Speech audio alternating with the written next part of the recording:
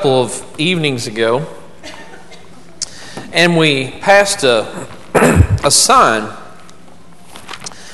that said uh, it was a, it was a church sign. Is what it was, and the church sign they uh, they were going to do something for the single mothers, and what they were going to do they had a, they had a sign up and it said oil change for single mothers, free oil change for single mothers. And I, I told Gene, I was like, that is just really neat. I like that idea of doing a single, uh, doing an oil change, a free oil change for single mothers. And I thought, what a, what a neat little, little outreach and uh, a neat evangelistic kind of thing to do.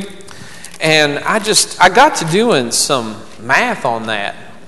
And, uh, you know, around here, you know, we have an explosion of, uh, of, of, these kind. This would be. It could be expensive. I mean, you, you know, you're you're pushing twenty bucks a vehicle, right? At best, even if you go and do your best to get the oil and and I mean, around here, I, I told Gina, I said, I said, I think the first time you do it, you wouldn't be bombarded, but by the second or third time, you could be just really hit and you know 20 40 68 100 20, like oh wow i don't I, like i don't know. I don't know if we can handle that or not what that would be. And then i thought they have a sign up in lexington.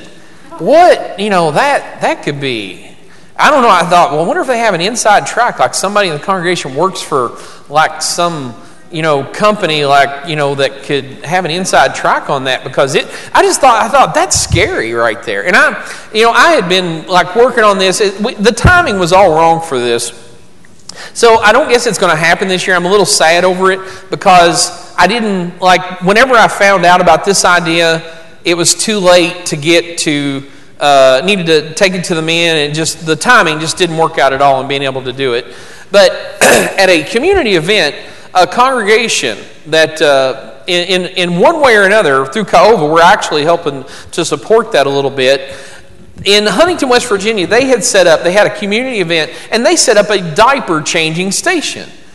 And they, all they were doing is they had some tables in there and had a little shelter set up. And, you know, basically, they let the moms come in or dads come in and change diapers. They didn't change the diapers for them, they just set up a place for them to change. And they probably did have some diapers on hand there for them. But I thought, you know, I thought that was such a good idea and, and such a you know neat way to be involved in community and just spread the love of Christ. I thought I like that idea, but you know timing didn't work out because for us it's simple. You know events in Flemingsburg, Court Day. That that's about it. And then Court Day is just round in the corner. I think it's like this coming weekend and and uh, stuff. So it, it, didn't work out. But I thought you know dollars wise, I try to think of things. You know we can. And I was like how how much can a few diapers cost? Well I know I know if you're mom diapers can cost a lot. You guys will potty train potty train. Come on come on go.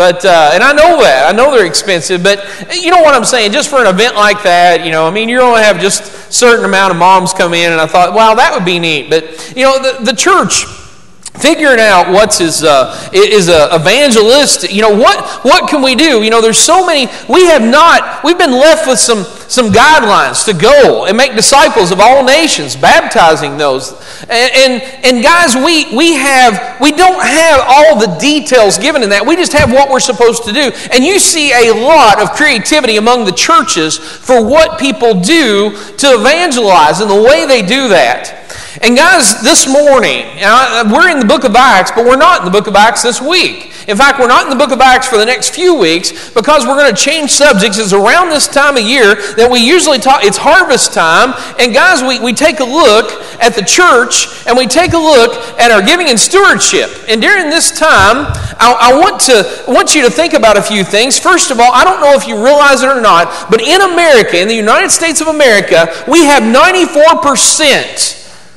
of the wealth in the world is located here. We are the richest uh, country in the world. We are more wealthy, let me put it like this we are more wealthy than 94, 94% of the rest of the world. That's where America falls. Now, I want you to think about this too. And I tried to get statistics on this, and statistics on this are always a little shaky. But with over 200 million people in the United States, that claim to be Christian, it puts us up between the 73 and 85% mark of this nation is considered Christian, quote unquote. You understand what I'm saying? That's where we're at. Now, if you look if you look at the largest nations, the largest Christian nations in the world, and you try to find which nation has more Christians than any other nation in the world, you're going to see the number one nation is the United States of America. Now, I'll admit there's some little island with a name I can't pronounce that have 50 people that live on it that 100% are Christians. They hit the 100% mark, but there's 50 of them. In numbers, we number over 200 million. Think about that. You know, this is something that could only happen in America, a country that was set apart, different from all the rest of the world, a country that has been God fearing in the past. I'm not saying where we are today or where we're heading to, but still, there's a lot of people in this country that still claim that they still claim God and they still claim Jesus. So let's just look at it like that. But I want you to understand this morning, first of all, I'm going to try to get a couple of points across, is where I'm going to start, is, is uh, you know, we, we all have, we are all stewards. We're all giving certain things that we are to take care of that God's given us, but it is not ours, and that's something that we have to understand as Christians. Now, it is God who richly blesses. Do you guys believe that this morning? Do you think you do it of your own, or do you think God has anything to do with anything you have? Now, let me just read a scripture. I want you to be turning over to Luke chapter 12, but I want to read a scripture to you that's not in Luke chapter 12. It's in 1, or 1 Timothy chapter 6. The scripture I'm going to read is 1 Timothy, 1 Timothy chapter 6, verse 17. It says, Instruct those who are rich in this present world not to be conceited or to fix their hope on the uncertainty of riches but on God who richly supplies us with all things to enjoy. Think about that statement. It is God who richly supplies us with, with all things to enjoy. What we have, God has entrusted with us. Now, we could look at several verses about that, but this is a particular parable that Jesus tells. It's in Luke chapter 12. And if you go to chapter 12 and go down to verse 13, is where we're going to start at. Luke chapter 12 and verse 13. Someone in the crowd said to him, Teacher, tell my brother to divide my family inheritance with me. But he said to him, Man, who appointed me a judge or arbiter over you. Then he said to them, Beware and be on guard against every form of greed. For not even when one has an abundance does his life consist of his possessions. Now, he starts this parable. Listen to this parable closely. And he told them a parable saying, the land of a rich man was very productive. And he began reasoning to himself, saying, What shall I do, since I have no place to store my crops? Then he said, This is what I will do. I will, I will tear down my barns and build larger ones. And there I will store all my grain and my goods and I will say to my soul, Soul, you have many goods laid up for many years to come. Take ease, eat, drink, and be merry. But God said to him, You fool, this very night your soul is required of you, and now who will own what you have prepared?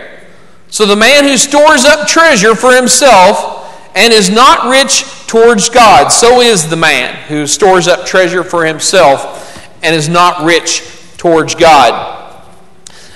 If you go back in that scripture, and I kind of have it outlined here, but if you'll start about in verse 17 and you'll start looking at the me, myself, and I's in that little section of scripture, you're going to find out that there is a confusion with this person right here because they think everything is theirs. And they're deciding what they're going to do with what's theirs. I'm going to do this. I'll build bigger barns. I'll store up my food. And then I'll go and I'll sit back and I'll eat, drink, and be merry. And God says, Thou fool, your soul is going to be required of you this very night. Now, who's going to own what you have? whenever we begin to think about what is ours and what's not ours, we need to realize what God has entrusted us with, not what we see as me, myself, and mine. Now, many people have worked hard to get what they got, and therefore we get underneath the impression that God doesn't have anything to do with it. We're not, you know, God didn't go out and earn the money, therefore it's not, not you know, but, but we need to come at this and understand that we are stewards, that God has entrusted us. Now, I'm going to change the subject, or you think I'm going to change the subject. It's not really changing the subject, but I think there's a few things that we need to develop in this, and one is about the church. I want you to understand that the church is what God has given us, and the church is the bride of Christ. If you will, go with me to Matthew chapter 16 and verse 18. Matthew chapter 16 and verse 18.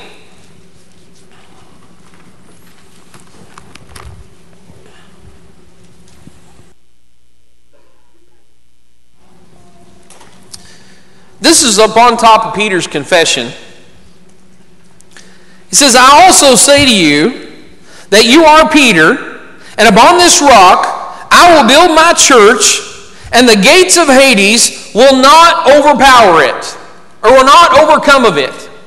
Now, Jesus says that he is going to build his church. It's Christ's church.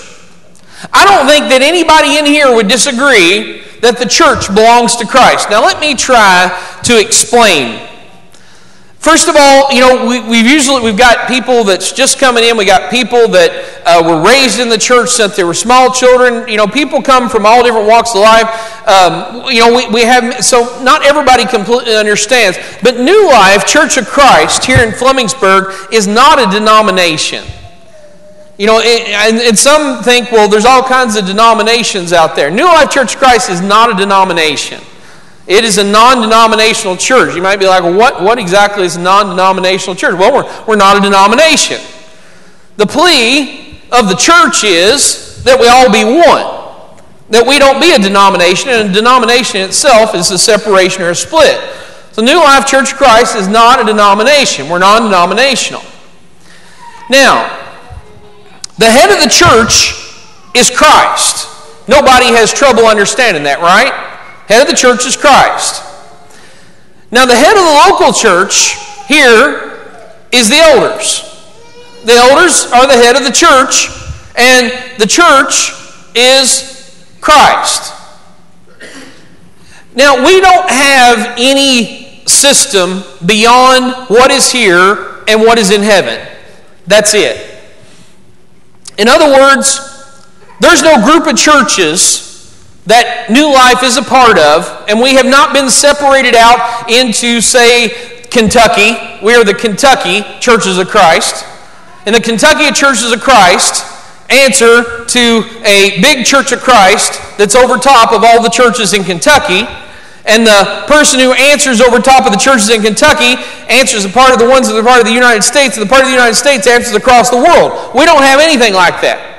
In other words, there's no superintendent, there's nothing that's set apart, there's, no, there, there's nothing beyond New Life Church of Christ, the elders, and Jesus as the head of the church. You need to understand that. Now, there's a reason that it's set up that way, and that's because if we look in Scripture, that's the way it's set up here. In other words, the churches weren't all grouped together and then they all had a head over them and they all had this person and that person and, and we got down to the local body and the authority. The authority here rests with the elders and Jesus Christ as the head of the church. Everybody understands that, right? There is no others. Now, what that means and why would Jesus set up his church like that? If you go and look at the seven churches in Asia found in the book of Revelation, you'll find out that not every church was doing what they needed to be doing. And Jesus called those churches to repent. They are independent of one another. In other words, you know, it is up to us to look at God's Word, to study from God's Word, and see what the New Testament church is doing, and to do that. Now, guys, in, in thinking about that and realizing how the church is set up, I want you to go over to Acts in chapter 14 and verse 23.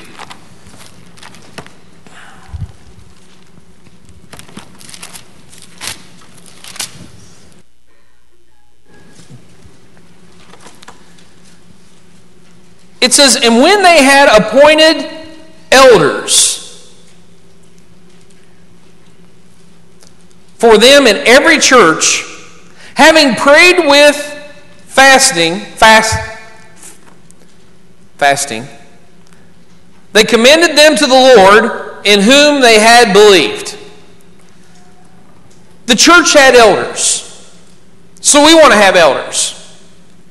So these elders here were appointed at the time here we're looking at Paul and Barnabas. They're going around the churches, they're appointing elders. Church has got elders. The church is the bride of Christ. Now, I, I want you to think about this. The church is the only place that the Lord's Supper is found. Now, you think about this for a minute. 1 Corinthians chapter 11, verse 18, if you go there with me. Now, I, know we're, you, you got to keep the eldership in mind. You got to keep the church in mind as the bride of Christ. But now we're looking into the church.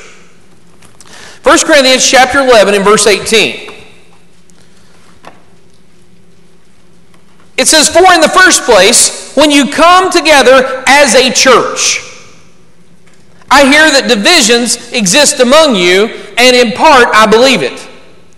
For there must also be factions among you, so that those who are approved may be evident among you. Therefore, when you meet together, it is not to eat the Lord's Supper. Follow the whole passage through, and what you're going to find out is the church was coming together. To, the, the Lord's Supper was the central part of why they came together, guys.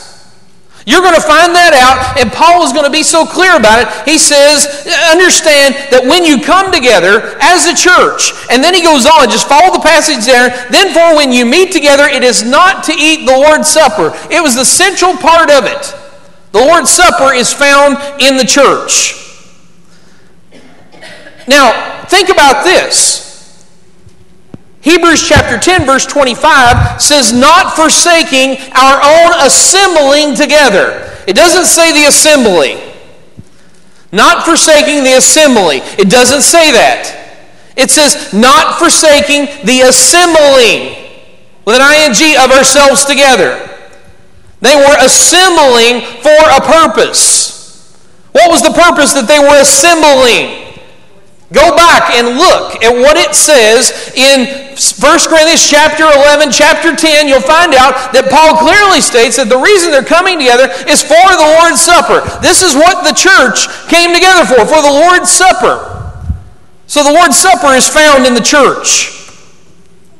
Jesus only partakes of the Lord's Supper with the church. Think about this. In Matthew chapter 26, verse 29, Jesus said, But I say to you, I will not drink of the fruit of the vine from now on until the day when I drink it anew with you in my Father's kingdom. Guys, think about what he said in Matthew chapter 16. Remember, he said that about the church, and the gates of Hades will not prevail. And then he says, Peter, I will give you the keys to the kingdom. The kingdom and the church, guys. You have been translated out of darkness and transferred into the kingdom of his dear son. Whose kingdom is it? It's Jesus' kingdom. When's the kingdom? It's now. We are right here in the midst of the kingdom, right now. And you're also, whose bride is it? It's the church. I will build my church, my kingdom. Understand the church and the kingdom are the same thing, guys. And he says that he will not partake it until he partakes it anew with you in my Father's kingdom. When we're here, Christ is here, and he is part of this partaking of the Lord's Supper. Now, to my knowledge, that can only be done within the church. And understand the church. You got to think about that word, guys. The elders guard the church. Acts chapter 20, verse 28.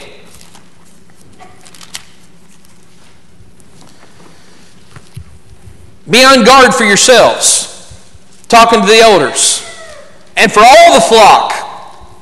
Who's the flock? You like being a flock? Like being a sheep? Sheep, Yeah, know, there's been this picture that's aired of this sheep. What's his name? Shrek? Shrek the sheep? Shrek the sheep has been showing up in pictures lately. Shrek the sheep is a sheep that hid out in a cave for seven years. He was lost for seven years. So Shrek didn't get a haircut for seven years. Do you know what Shrek looks like when you don't get a haircut for seven years? That's what Shrek looks like. Because he hid out in a cave for seven years. He wasn't part of the rest of the flock. The flock, the shepherd takes care of the sheep, right? They, you know, I don't even think Shrek could see. You know, he was like, he had to be going around like, boy, this is really dark in here. That's kind of what it is whenever we leave the flock, isn't it? And we do it on our own.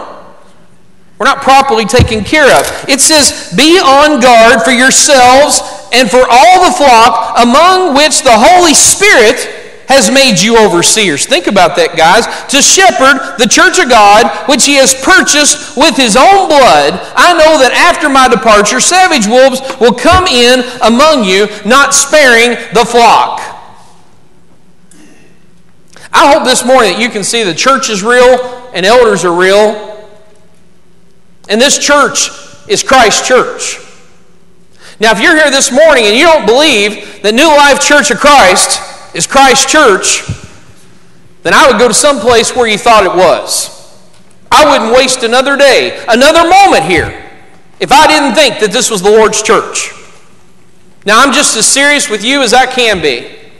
I believe today that this is the Lord's church. I believe that this is the church that He died for. I believe that this is the church his blood was shed for. I believe this is the church that God raised him from the dead for. And I'm a part of that church. And I hope today you're a part of that church and you're serious about the church of the Lord Jesus Christ. Now, if you're with me and you believe that this is the Lord's church, and you believe that things are as they should be, and we work very hard on those, we need to study the Word diligently to see that they are. then I want you to think about something. Go with John me to chapter go with John to me. Go with to the book of John to chapter 12. Sometimes words don't come out like you want them to.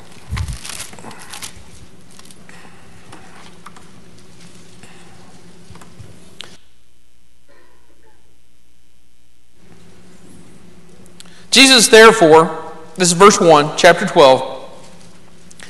Jesus, therefore, six days before the Passover, came to Bethany, where Lazarus was, whom Jesus had raised from the dead. So they had made him a supper there, and Martha was serving. But Lazarus was one of those reclining at the table with him. Mary then took a pound of very costly perfume of pure nard, of pure nard, and anointed the feet of Jesus and wiped his feet with her hair and the house was filled with the fragrance of perfume.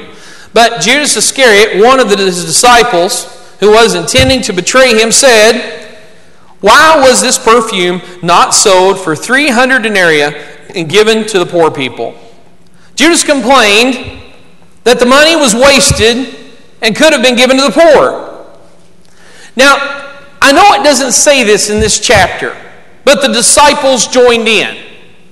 I am not 50% sure that the disciples joined in. I am 100% sure that the disciples joined in in what Judas was saying because in Matthew chapter 26, verse 8, it says they joined in. It says, But the disciples were indignant when they saw this and said, Why this waste? So here we have Jesus we have perfume that is worth, according to the estimates I've got, about 11 months' wages, near a year's wages. And Judas evidently is the first one who speaks up and he says, Why wasn't this given to the poor? Why wasn't this used? This is 300 denarii worth that could have been gotten. We could have given this to the poor. Then the disciples join in. Why this waste? Now, Jesus is going to have something to say about this, but I want you to understand something. Judas, who everybody chose to listen to, you see, they were stopped listening to Jesus, they were stopped following Jesus, and they were starting to follow Judas. Seemed like he had the answers here at the time. Now, Judas was a thief. I know he was a thief.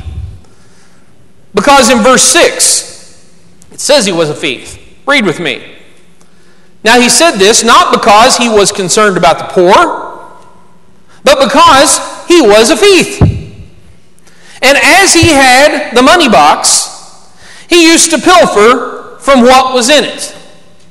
Judas was a thief. He was stealing from the money box. You think about this for a minute. Now, the rest of the disciples join in with him. They're like, yeah, why this waste? Look at this lady. She's wasting all this. Judas is a thief. He takes care of the money box. Did Jesus know who was going to crucify him? Oh, we could debate that. We could say, well, I don't know if Jesus knew or not. Well, you know, if we look in the Bible, we're going to find out Jesus knew exactly who was going to deny him. Did Jesus sometimes know what somebody was thinking before they ever said it? He did, didn't he? You think Jesus knew Judas was stealing from the money box? I think Jesus knew Judas was stealing from the money box. Now, Jesus told them in verse 7 and 8, He said, Let her alone, so that she may keep it for the day of my burial. For you will always have the poor with you, but you will not always have me. Jesus, knowingly, Judas was stealing from the money bag. People were following Jesus in the thousands, guys. They were coming to him, and by John chapter 6, he had a massive crowd that numbered over 5,000 in men, not including women and children. No doubt some of the money that was going in the money box was coming from those people. And there it is, Jesus, knowing good and well that we have a thief in the money box is letting those good people put their money in, and their money is being stolen by Judas. But it went on anyway. But Jesus doesn't know what he's doing, right? Some didn't understand the waste. Let me give you some things. Now, Arnold Linda, this is absolutely positively nothing to do with you guys, okay? All right. So don't get don't get don't get worried here. A treasure, a treasure at the Orange County, Orange County Church is accused of embezzling more than $110,000. The prosecutors allege, I can't even pronounce the name, stole the money while serving as an interim treasurer at the first Siloam Christian Congregational Church in Santa Ana. $110,000. Don't, don't have a clue what that is. Gatlin, Tennessee. Anybody ever been to Gatlin, Tennessee? No, no. Gatlin. Gatlin, Tennessee. I don't know where it is. So you, you know, okay, we got one here at least knows where Gatlin, Tennessee is.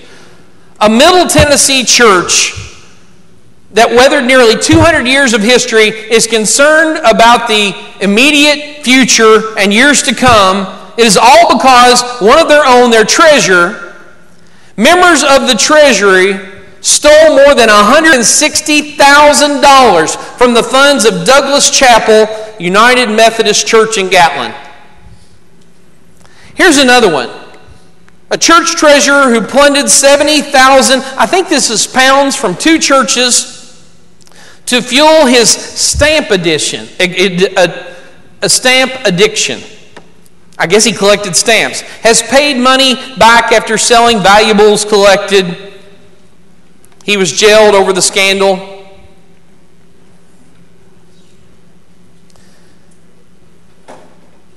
Let me give you one more. There's actually, I've got a volunteer treasurer who stole 54000 from a small Elmhurst church.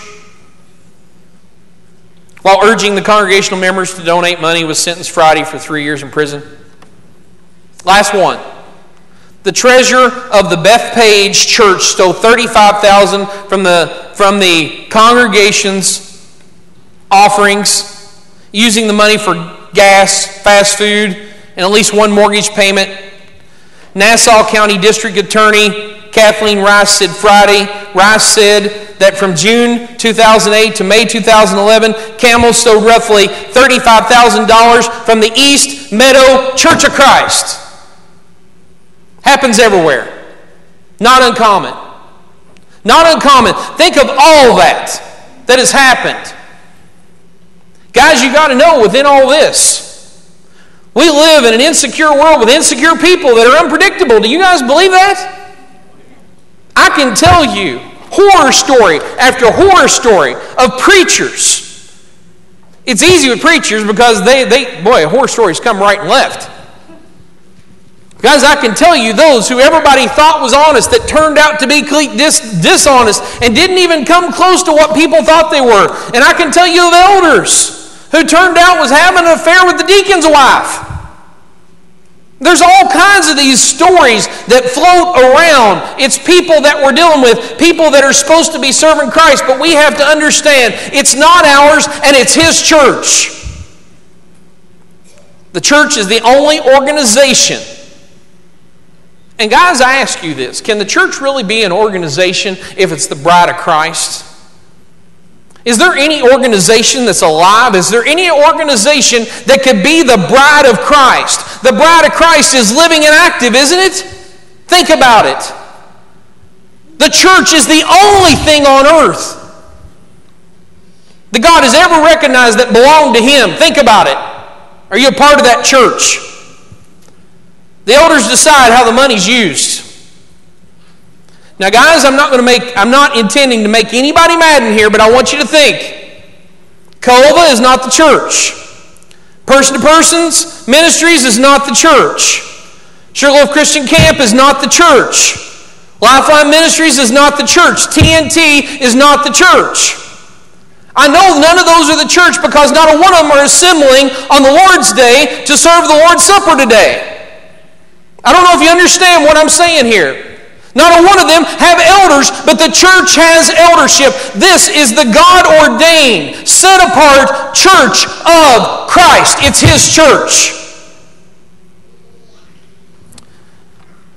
Now, concerning the collection of the saints, as I directed the churches in Galatia, so do you also on the first day of the week. Each one of you is to put aside and save as he may prosper, so that no collections have to be made when I come. This morning, we're going to do an invitation. Jesus, He's coming back for the church. You realize that? The church. Don't you want to be a part of His church? Guys, He loved the church, He died for the church. God sent him to die for the church. Do you love his church? Do you want to be a part of that church? I want to be a part of that family of God, that one that He has set apart, that one that has been ordained, that has been put apart to share the gospel with the whole world. I want to be a part of that church. You can do that this morning.